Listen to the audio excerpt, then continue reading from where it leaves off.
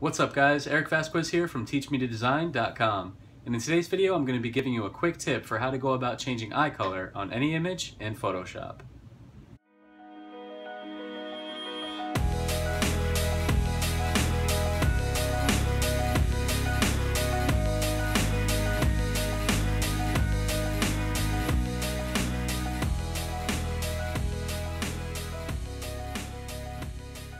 Alright guys, so today I'm going to be showing you how you can go about changing the eye color in a portrait photo. To start off, I'm just going to open up my image in Photoshop, come down here to the adjustment layers icon, and we're going to choose hue saturation. Now, what I'm most concerned with is just doing a little overall saturation boost, maybe boosting this middle slider to about 15 or 16, um, but that's going to vary depending on the image that you're using. Um, so I'm going to go ahead and add another hue saturation adjustment. This time I will begin to experiment with just moving around the hue slider. Let's say I want to make her eyes kind of greenish. Um, I'm going to move it in this general area and just see what that looks like, only looking at the eyes right now. Maybe somewhere around there.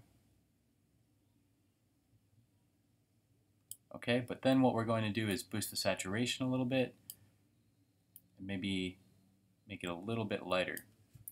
Okay, so from here I'm going to invert the layer mask by pressing Command I or Control I if you're working on a PC. And I'm going to select a round soft edge brush and paint with white just over the eyes. It's going to hide everything except these areas where we're painting in white. Alright, and if you mess up or go outside of the lines, you can just come back in with black and go over that. Do the same thing on this side just to reveal our adjusted eye color like so.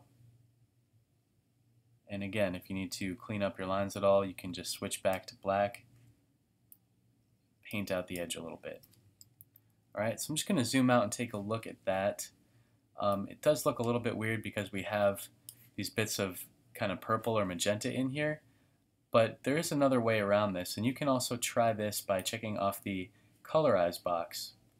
Now what this will allow you to do is make it, you know, predominantly one color. So you won't get, you know, the variation that you have in the original. There's a little bit of, of variation in that one. But you can also play around with the blending modes. So let's say that, you know, I like the, the green in her eyes to be this color.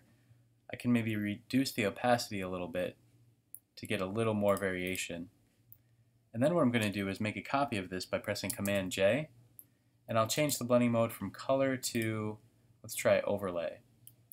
Alright, and with this, what you want to do is desaturate the image completely, increase the lightness a little bit, and then play around with the opacity of the layer. So that's basically going to give you some more contrast or intensity in the eyes. So this layer is mostly used to you know, control the, the light or the dark, and our previous hue saturation layer will be used to control the saturation or the intensity of the color itself. So that's kind of a quick way that you can go about changing the eye color in a photo from this to this or pretty much anything else that you want. If you want them to be brownish, hazel, it's totally up to you. Experiment with it, have some fun, and I just wanted to share that quick tip with you guys because a few people asked me if I could cover this in a tutorial. So hope you enjoyed it, hope you found it helpful. If so, please give us a thumbs up, comment, and subscribe to the YouTube channel. And also go ahead and sign up for our email list, guys, and get a free Photoshop ebook just for signing up. So thank you for watching, thanks for your support, and we'll see you next time.